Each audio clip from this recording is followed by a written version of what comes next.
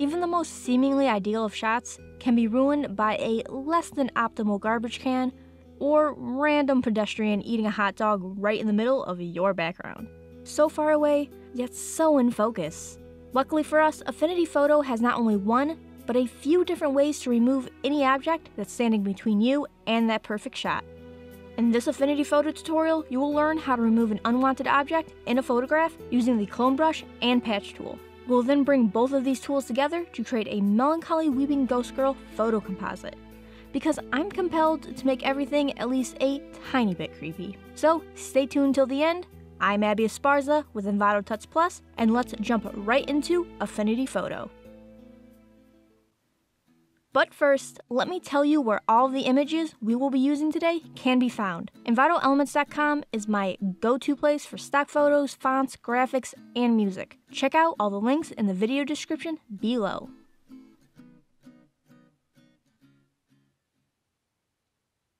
Let's look at both tools individually. Then we'll use their powers combined to remove a whole person from this beach. The patch tool may be the only tool you end up using in some cases, especially if you're working with something that has straight lines that easily match up, anything with a very noticeably repeating pattern.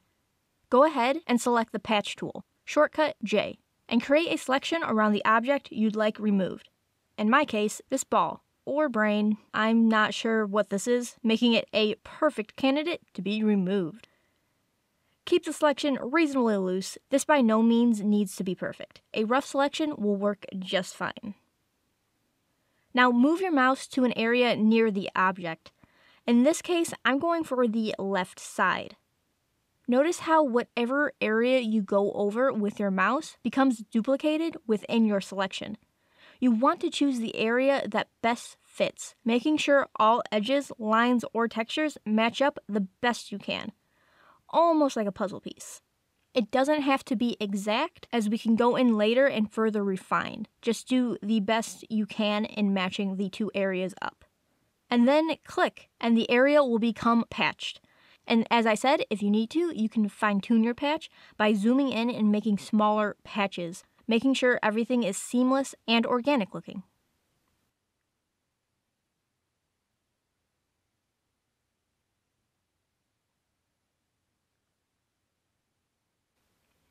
However, the clone stamp tool is my tool of choice for fine tuning or working in smaller and zoomed in sections of a photo. Select the clone stamp tool, shortcut S, and adjust the stamp's brush settings found in the top toolbar. These settings will change as you go, not only from image to image, but from spot to spot within any single photo. In this case, I notice a bee in this dog's mouth who is undoubtedly a very good boy despite his bee eating habits. As this area is sharp and in focus, I'm going to make sure my brush is slightly hard, around 50%. And as I want to remove the bee altogether, my opacity and flow should be set to 100%. With my settings in check, I can start clone stamping. Hold Alt to sample an area you want to stamp. Similar to the patch tool, a copy of the area you click will be placed where you paint. I typically sample the area directly below my brush. The sample will then continue to follow my brush, creating a continual stamp. You'll want to avoid things looking too repetitive, however. So every once in a while, sample a different area and paint over any repeating patterns or details. So you really, really want to avoid any kind of repetition.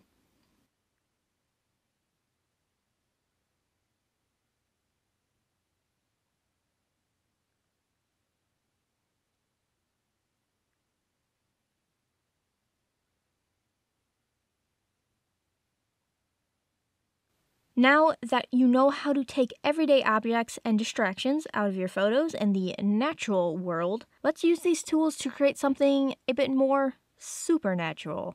Here we have a solitary beach that we need to make a bit more solitary to make room for our weeping ghost. Meaning we have to remove this fine young lady here. First, let's start out with the patch tool to give us a good base Select the woman and just patch her out. Zoom in to do a few more smaller patches. Here is when we can patch back in some of the texture we lost since we sampled the sky and not any kind of sandy area. We'll have to patch back in some of those sandy patches.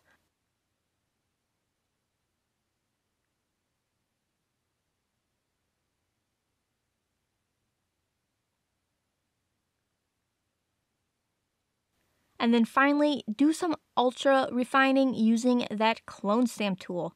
Being sure to zoom in nice and close, focusing on any areas that seem mismatched or repetitive. Again, nature hates symmetry and repetition. As a quick tip, use a masked out copy of the original image to bring back some of the finer details that may have been accidentally removed from the patchwork. Paint on the black mask with a white brush to mask areas back in, but only masking in the areas that don't contain the object you wanted to remove. In this case, I want to bring back the grass, but not the woman's coat. Also, don't be afraid of just going in with a normal brush to help blend things together, both to color correct or add light. Uh, no painting skills needed. Just be sure to zoom in nice and close.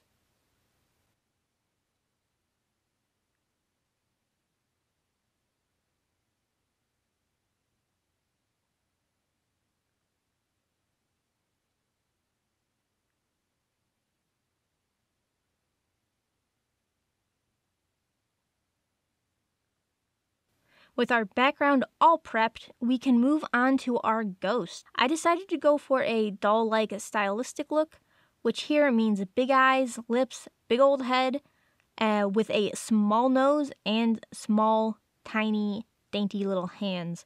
It's all personal preference, however to give a character any kind of enlarged features without having to actually enlarge an image, leading to pixelization and oftentimes blurriness, import the image onto a canvas and then duplicate it. Now we're going to shrink the original image slightly.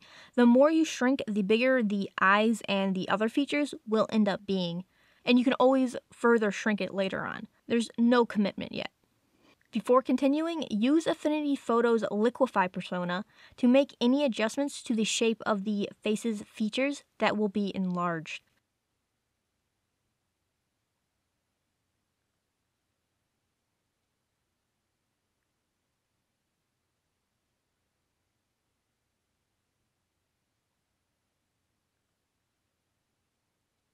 Next, make a real quick selection around the subject's eyes, nose, and mouth and then copy and paste that selection onto its own layer.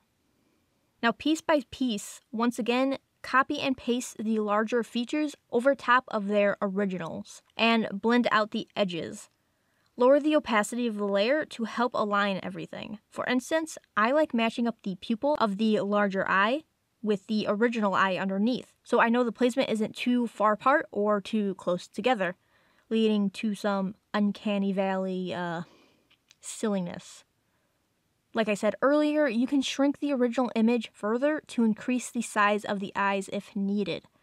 And once everything is blended and placed, we can rasterize or merge the layers.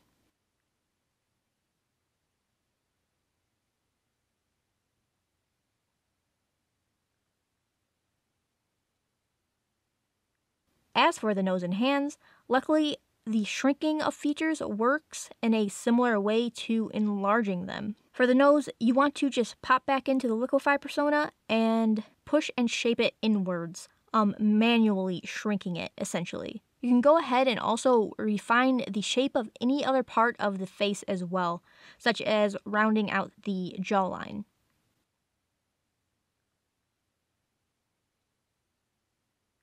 For the hands, create a selection around each hand and copy and paste them separately onto new layers, like how we did with the eyes. Only this time, shrink the hands using the transform anchors. Use a soft eraser brush tool to feather out the very edges of the hands, being mindful of blending where you can. But as we shrunk the hands, there will be plenty of areas where the original larger hands are still showing. Remember the clone and patch tool? It's their time to shine again. Using the same techniques as we used in the dog and beach image, remove the leftover hands. As we are working in close zoomed in areas, the stamp tool should do the trick. However, feel free to experiment with the patch tool as well.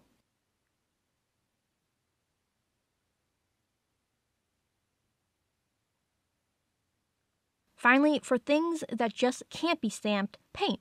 Zoom in nice and close and recreate the colors, lines, and textures you see. And once again, no painting skills needed. You're essentially just manually copying and pasting. Once happy, merge everything together. And if you want her to look even more like a doll, you can enlarge the subject's head using the same method as the eyes go ahead and save your newly dollified little girl as a PNG or JPEG, and then drag, drop, and size it onto the cleaned up beach canvas.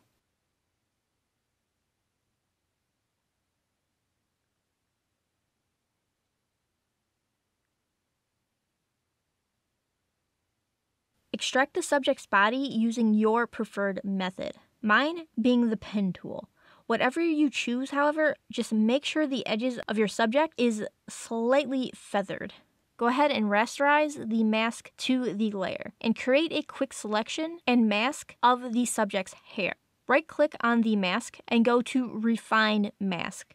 Drag the refine brush around the edge of the subject's hair to get a pretty decent mask of the hair and its flyaways. For this particular image, this will do. It's just fine. Next, let's smooth out her skin to a powder finish.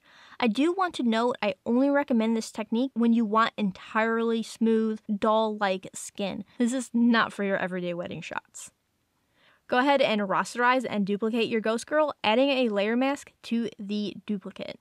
Zoom in nice and close to the duplicated image's skin and go to Filters, Blur, Bilateral Blur and play with the settings until you have a good mixture of smooth skin but sharp features and edges. And then click OK. Fill in the blurred layer's layer mask with black, hiding it completely. And then mask back in the blurred layer over the skin, avoiding the hair, clothes, eyes, nose, and lips. I also opted out of adding blur to the hands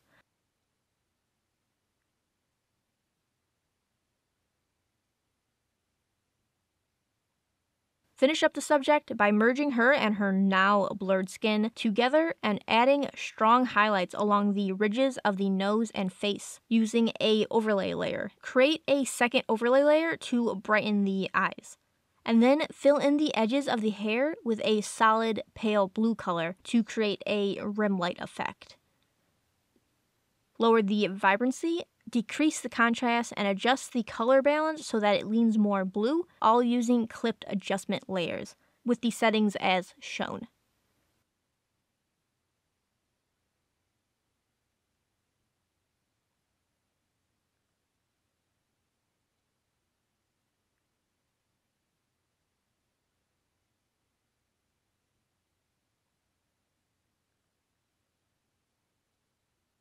Add that extra bit of doll like creepiness by adding some soft pink to the little girl's chin, nose, and cheeks using a soft light layer, and then a strong ring of light around her pupils using one last overlay layer. And if you really want to drive home the fact that she's a ghost, even more, add a layer mask to the subject, and then using a very large brush, Mask out the parts of the body and face to make her see-through. I also like to keep any creases completely opaque, where any flatter areas are more see-through. A little bit hard to describe, but here's what I'm talking about, these ridges here.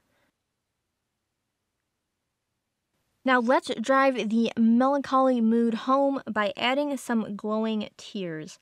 Painting tears is as easy as painting white dashed lines on the waterline of the eyes, focusing a lot towards the inner and outer corners of the eyes.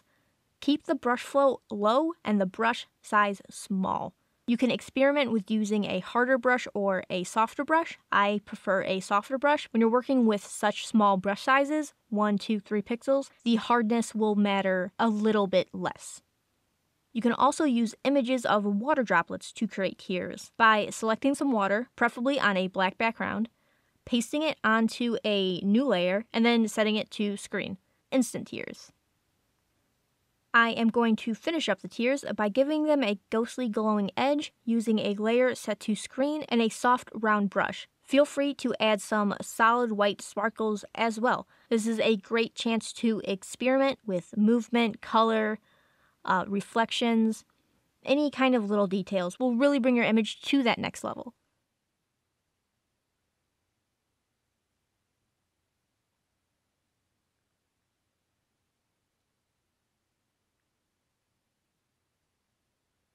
And for the final, final, final finishing touches, adding some blurred grass helps fill in the foreground. And as this is a 3D stock image, not only can I pick and choose different rotations and angles, it comes background free, no extraction needed. Apply a quick filters field blur and a little bit of color correction if needed, and you are done. For the color grade, I'm just going to do a quick rundown for this image. Go ahead and pause if you would like to replicate it for yourself. First, a slight S-curve to pump up the contrast. Next up, the real heavy lifter, a selective color layer adjustment, adjusting the reds, cyans, blues, magentas, whites, and neutrals bringing out the reds and giving everything a wash of blue. Now, a second curves layer to pump up the blues and the highlights. And finally, a pixel layer filled with a dark purple brown color and then set to lighten, which will give a very subtle but appreciated effect and kind of help tie everything together. And there you have it. Whether you need to remove small objects, whole people, or maybe just a hand or eyebrow or two, the clone and patch tool are sure to be your best friends. And in some cases, even the brush tool. The brush tool is actually my go to tattoo remover. But that's a story for another day. So, if you like this video and would like to see more, go ahead and hit that like button, subscribe if you aren't already, and don't forget to click the little bell icon to be notified of any new and inspiring videos. And if you are looking to learn even more, why not check out some of the other excellent tutorials that Envato Tuts Plus has to offer. I'm Abbey Esparza. See you next time.